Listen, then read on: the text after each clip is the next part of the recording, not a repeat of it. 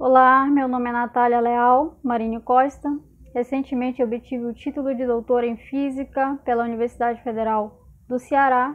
Estou aqui para falar um pouco sobre o meu último trabalho que foi publicado na revista Physical Review Letters e tem como tema a termodinâmica das cadeias lineares de carbono. Esse trabalho foi coordenado pelos professores Paulo Araújo, Alexandre Pascoal e professor Newton Martins, das universidades do Alabama, a Universidade Federal do Ceará e do Pará, respectivamente, além da participação de colaboradores da Coreia e também do Japão. Devo iniciar falando um pouco sobre as cadeias lineares de carbono, que trata de um conjunto de átomos distribuído ao longo de uma linha, sendo a trópica unidimensional do elemento de carbono, uma das configurações energeticamente possíveis para essas cadeias é a do tipo polina, aonde os átomos de carbono são conectados por meio de ligações simples e triplas e são alternadas ao longo da cadeia. Essas cadeias elas são estáveis quando sintetizadas dentro de nanotubo de carbonos, pois o mesmo apresenta condições ideais para a formação delas. Então, o nosso estudo foi realizado em dois sistemas diferentes onde as cadeias lineares de carbono são sintetizadas dentro de nanotubo de paredes múltiplas e o outro sistema, que é o nanotubo de paredes duplas.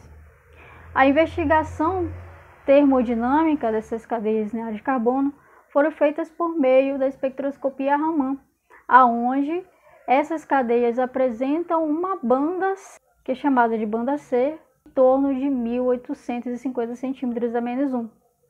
Essa banda C foi analisada sobre a variação da temperatura de 378 kelvins em uma análise experimental e de 300 a 700 kelvins em uma análise teórica. O comportamento dessa banda com a variação da temperatura foi descrita por meio do formalismo de Debye.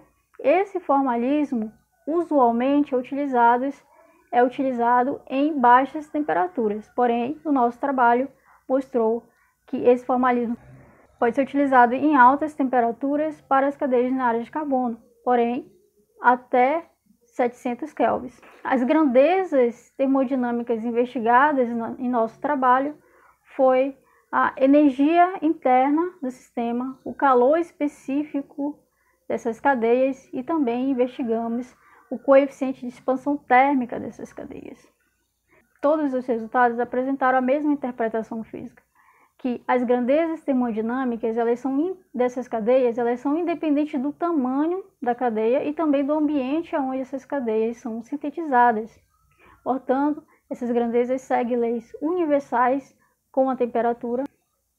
Outra análise que foi feita em nosso trabalho foi estudar a variação do volume dessas cadeias com as propriedades vibracionais das mesmas, por meio do parâmetro de Grunheis. E esse parâmetro se mostrou proporcional ao número de átomos de carbono. Além disso, investigamos a frequência de oscilação em condições ambientes para cada cadeia de carbono em função do número de átomos, que se mostrou inversamente proporcional ao número de átomos de carbono.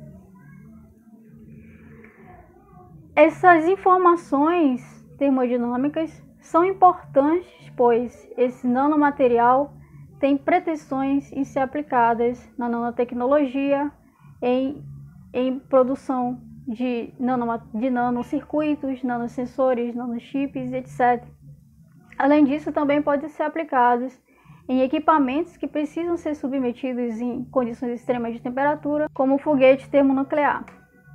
Por fim, é importante mencionar que esse trabalho foi apoiado pela Sociedade Brasileira e pela Sociedade Americana de Física por meio do programa de intercâmbio entre o Brasil e os Estados Unidos.